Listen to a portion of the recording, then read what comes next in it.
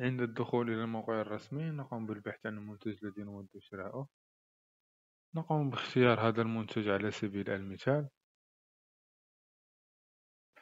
ثم نقوم بإدخاله إلى سلة الشراء. عندها نذهب إلى سلة الشراء.